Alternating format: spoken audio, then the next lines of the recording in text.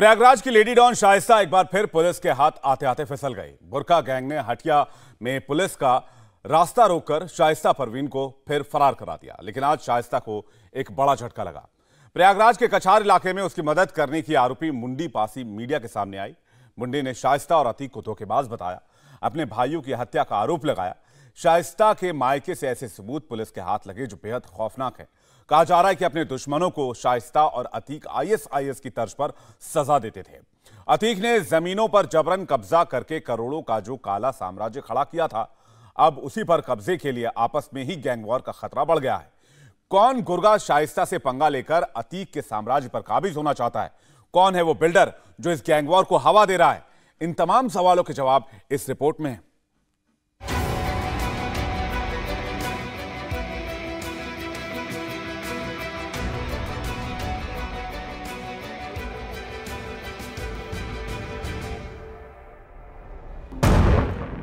प्रयागराज के माफिया को मिट्टी में मिलाने के बाद उसके गैंग की बारी है, क्योंकि जब तक गैंग ज़िंदा है, खौफ भी ज़िंदा रहेगा। लेकिन एसटीएफ के लिए ये इतना आसान नहीं है। शाइस्ता परवीन अब तक हाथ नहीं लगी है। गुड्डू मुस्लिम लगातार गच्चा दे रहा है। असद का गैंग फ़िलहाल भागा हुआ है, लेकिन सवाल यही है कि कब तक?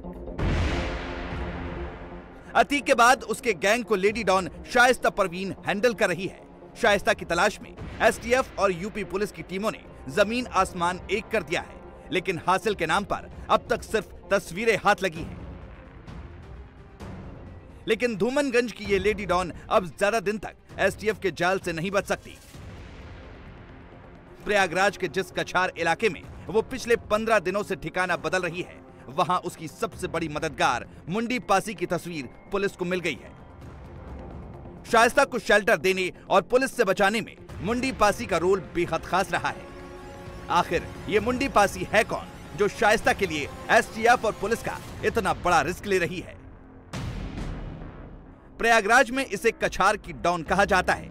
कई आपराधिक मामलों में आरोपी है। कुछ दिन पहले ही जमानत पर जेल से बाहर आई है। कछार के तमाम छोटे बड़े अपराधियों से इसकी जान पहचान है। आपके ऊपर आरोप है कि लगाया जा हमारी दुश्मनी है सर। दुश्मनी से मुझे फंसाया जा रहा शाइस्ता परवीन से मेरा कोई लेन देन नहीं आखिरी बार शाइस्ता से कब मिली थी? चार चार भाई मारे गए चार चार भाई मेरे मारे गए मेरे माँ बाप मर गए भाई भी मर गए मेरी भौजाई भी मर गई। चुनाव के पीरियड मरिया डील धोखे से बुलाई शाइस्ता परवीन। ये महिलाओं की थी। वो कहीं मुंडी चलना है हम जब वहाँ देखे की चुनाव के पीरियड है हम भाग आए।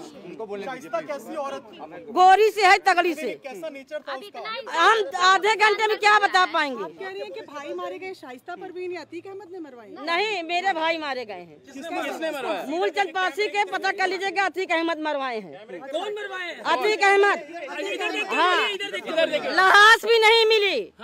मूलचंद पासी की लहास भी नहीं मिली तब विधायक थे। मूलचंद पासी को। अतीक अहमद अतीक और शाइस्ता ने कैसे अपना खौफ कायम किया था, इसके नए सबूत पुलिस को मिले हैं।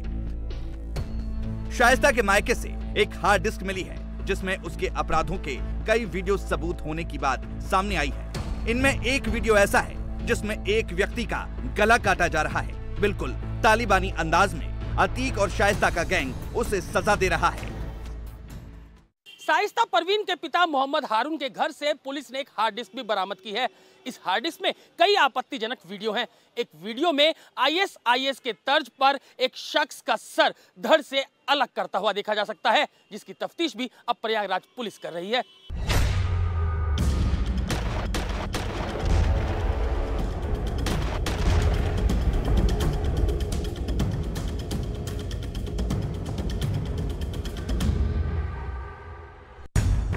शाइस्ता जितनी खतरनाक है, गुड्डू मुस्लिम, उससे एक इंच भी कम नहीं है। यूपी एसटीएफ, यूपी पुलिस के बाद अब उसे दिल्ली पुलिस की स्पेशल सेल भी तलाश रही है। गुड्डू के पुश्तैनी घर, शिवकुटी के लाला की सराय में लगे इस नोटिस पर गौर कीजिए। गुड्डू को आर्म्स एक्ट में स्पेशल सेल ने 24 अप्रैल को नोटिस दिया था 25 को पूछताछ के लिए बुलाया था। इंडिया टीवी की टीम जब वहाँ पहुँची तो नोटिस चिपका था और घर पर ताला लगा हुआ था। शिवकुटी में लाला की सराय में गुड्डू मुस्लिम के घर पहुँचे हैं और ये जो घर है, वो गुड्डू मुस्लिम का है। और यहाँ पर आप देख सकते हैं, दिल्ली पुलिस की स्पेशल सेल का एक नोटिस भी यहाँ पर लगा हुआ है, जिसमें to Guddu Muslim, son of Sajik, name of accused, residence of village, Lala की Sarai PS Shivkuti, district Prayagraj, UP. और ये जो नोटिस है, ये आर्म्स एक्ट में ये नोटिस जो है, वो सेक्शन 14 ए 14 वन ए में सीआरपीसी के तहत ये नोटिस दिया गया है। और यहाँ पर आप देखेंगे 25 चार 2023 को यह नोटिस दिया है, office of CI special cell, यानी कि स्पेशल सेल दिल्ली पुलिस का यह नोटिस है, न्यू फ्रेंड्स कॉलोनी, यहाँ पर दिल्ली पुलिस सेल का दफ्तर है, और वहाँ से यह नोटिस जो है, वो गुड्डू मुस्लिम के घर के बाहर चस्पा किया गया है।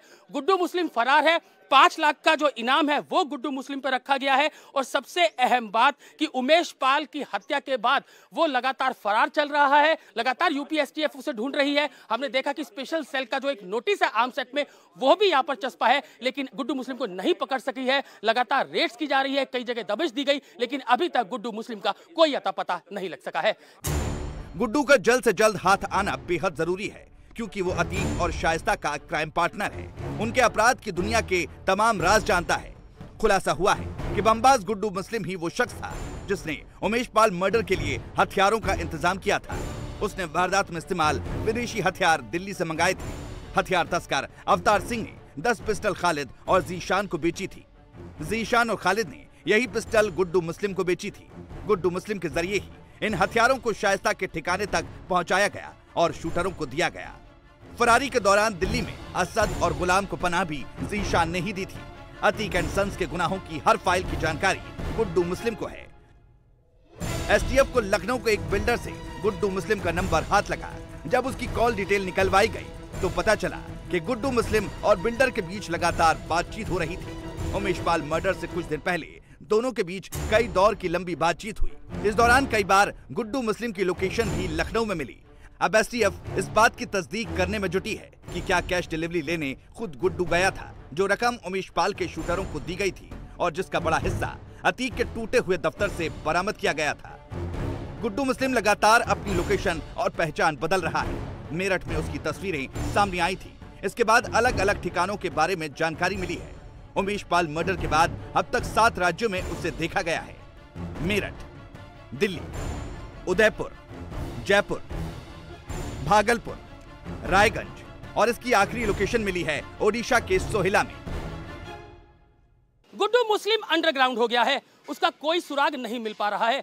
यूपीएसटीएफ के साथ साथ दिल्ली पुलिस की स्पेशल सेल भी लगातार गुड्डू मुस्लिम की तलाश कर रही है। गुड्डू मुस्लिम की last location Orissa Chhattisgarh border की मिली थी, लेकिन इसके बाद से वो कहाँ है, इसका पता नहीं लग पा रहा है।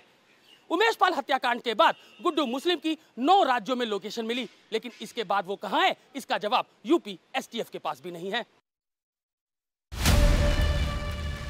अतीक के काले साम्राज्य की सबसे बड़ी कमाई जमीनों पर कब्जे से होती थी। उसके जेल जाने के बाद शाइस्ता और गुड्डू मुस्लिम कब्जेदारी के इस रैकेट को चला रहे थे। अतीक और उसका गैंग सिर्फ़ किसानों और कमज़ोर लोगों की ज़मीन नहीं हड़पता था। वो वक्त की ज़मीन पर भी कब्जा कर लेता था। इसका खुलासा अतीक की ससुराल से मिले वो कागजात हैं, जो अब इंडिया टीवी के पास है। ये कागजात प्रयागराज के कसारी मसारी में 117 स्क्वायर मीटर से ज़्यादा की ज़मीन के सौदे के जिसे अतीक गैंग ने सिर्फ़ 12 लाख में हड़प लिया था। अब आपको अतीक एंड गैंग के जमीनों के हड़पने की मॉडस ऑपरेंडी बताते हैं। अतीक गैंग सबसे पहले विवादित ज़मीन पर अपने गुर्गे भेजता, फिर उसकी बाउंड्री करा देता। बाउंड्री कराने पर असली मालिक खुद ब खुद वहाँ पहुँचता। उसके बाद उसे बंधक बनाकर मारपीट की जाती। इसके बाद उसे औने पौने दाम पर ज़मीन की रजिस्ट्री के लिए मजबूर किया जाता। फिर अतीक अपने किसी गुर्गे के नाम पर रजिस्ट्री करा देता। रजिस्ट्री कराने के बाद Atiq gang Prayagraj development authority के अफसरों, पुलिस अफसरों और इसके अलावा राजस्व विभाग के अफसरों को लालच देता। ज़मीन की इस लूट में सबका हिस्सा फिक्स था। अगर कोई शिकायतकर्ता पुलिस के पास जाता तो अतीक गैंग को इसके बारे में बता दिया जाता और फिर गोली और कट्टे के दम पर जो शिकायत करता है, उसको खामोश कर दिया जाता। अगर कोई कोर्ट कचहरी जाता तो वहाँ भी अतीक गैंग के गुर्गे उनसे बुरी तरीके से मारपीट करते अब अवैध कब्जे वाली जमीनों की कमाई का एक पैरेलल सिस्टम भी अतीक ने बना रखा था। उसका एक गैंग लगातार विवादित ज़मीन पर डटा रहता। दूसरा गैंग अफसरों से मिली भगत कराकर बिल्डिंग बायलॉज के नियम शिथिल कराता। और खेती की ज़मीन को रिहायशी और कमर्शियल में बदल दिया जाता इसके बाद फ्लैट्स और कमर्शियल कॉम्प्लेक्स का निर्माण करके मोटी कमाई की जाती अतीक ने जमीनों पर कब्जे का ये खेल सिर्फ़ कसारी मसारी और धूमनगंज में ही नहीं, उसने गंगा के उस पार झूसी तक भी अपना खेल खेला। उसकी कब्जाई जमीनें Stanley road, Nawab Yusuf road MG मार्ग, झलवा, धूमनगंज, झूसी और नैनी तक फैली हुई हैं। अब फरार चल रही शाइस्ता परवीन इन बेनामी संपत्तियों को अपने नाम ट्रांसफ़र कराने में लगी है। जाँच में पता चला है कि प्रयागराज के कई सीए इस काम में उसकी मदद कर रहे हैं। इस बीच पता चला है कि नैनी जेल में बंद अतीक का बेटा अली भी एक्टिव हो गया है। उसके नाम का एक पर्चा सोशल मीडिया पर वायरल हो रहा है, जिसमें अली ने समाजवादी पार्टी और बीजेपी को वोट नहीं देने की अपील की है। इसके बाद जेल में उससे मुलाकात पर रोक लगा दी गई है। मेरठ में बीएसपी के मेयर प्रत्याशी हशमत मलिक ने भी अतीक अशरफ के अंत के लिए अखिलेश यादव को जिम्मेदार ठहराया है। उन्होंने आरोप लगाया है कि अगर अखिलेश ने योगी बाबा को ना उकसाया होता तो अतीक कांड नहीं होता। बात भी है खुद उसका लड़का कह रहा समाजवादी साफ़ बात- है क्लियर बात है। सभी सभी, लोग वोटरों की समझ में भी आ गई आज तुम देख लो आज़म का क्या हाल हो गया? बताओ। आज़म का क्या हो गया? याकूब भाई क्या हो गया? मुसलमानों को पता नहीं मुसलमानों दिमाग में नहीं है। इंडिया टीवी, हर वक्त, हर जगह। डाउनलोड करने के लिए सर्च करें India TV news, Google Play Store या एप स्टोर पर।